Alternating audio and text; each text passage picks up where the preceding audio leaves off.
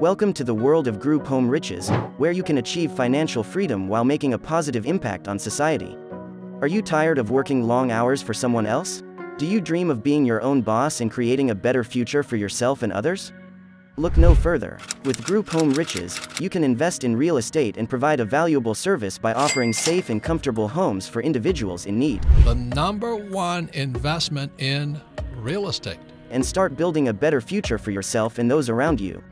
Let's make a difference together with Group Home Riches. So I got into real estate back in 2011. The economy wasn't great.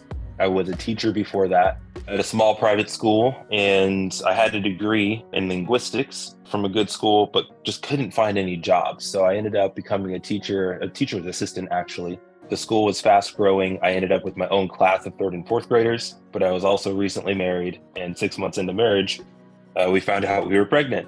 And I was making less than 30 grand. I was at the school from 7 a.m or maybe 7.30 till about 6 p.m because i did the after school program too. Like i did everything i could to get some money. And our rent was going up and this baby was on the way and i was just like i can't spend my entire life at this school and get paid nothing.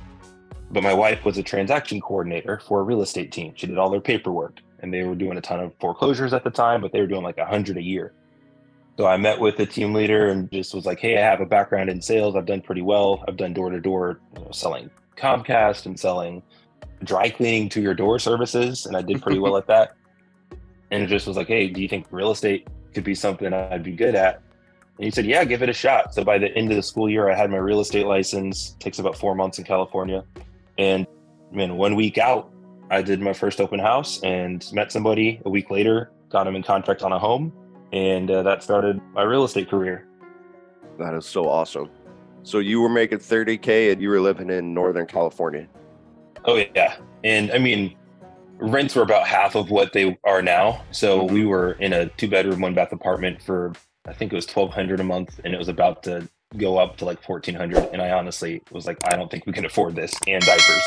Yeah. Uh, so yeah, it wasn't much to live on. In real estate, you're taught to just sell more homes if you want to make more money. So I ended up mm-hmm. building a team. That's where the brokerage came from. Uh, just got to a point where I, I couldn't sell any more homes myself. I remember one month I sold eight homes and I made a lot of money, but I barely saw my family. I was working all weekend, showing a ton of properties to buyers who wanted to look at, you know, 10 to 20 homes each. And it was just a crazy lifestyle. So it was, I was successful in most people's eyes, but I felt like I was letting my family down so decided to build a team and then work on you know leverage and leadership.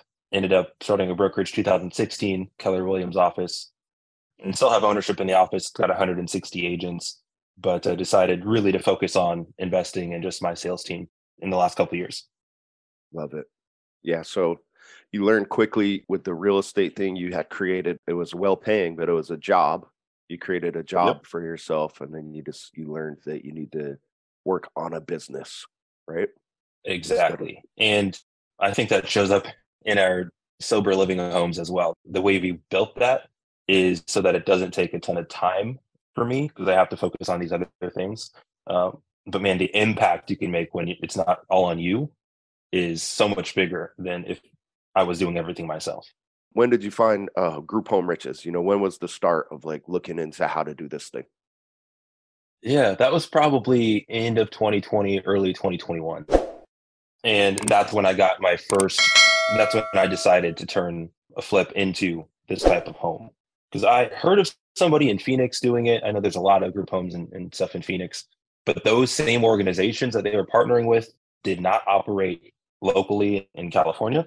So I had to like, I felt like I was figuring it all out from scratch. And that's when I connected with you guys. Perfect. So you got a deal did you buy the property first or did you kind of start doing the networking and stuff before you got the property? So we actually changed course mid renovation. I was actually I ended up buying one of my listings. They just wanted to get their there was a tax law change in California. Uh, they wanted to get their money out of California so they could pass along their property to their kids without having to pay this big estate tax. So they dropped the price 50 grand. And I was like, if you're going to do that, I'll buy it. And found it. I had a private lender who funded the purchase and the renovation. And uh, I knew we would build in about 100,000 in equity pretty quickly. So we did. Yeah, December 2020, I bought that property. We put maybe 30,000 into it. Uh, and it was worth about a hundred and forty thousand more, like within six weeks. And we refinanced out and kept that property. And while we were doing the work during that six weeks, I was connecting with everyone in my local area on how to run this model.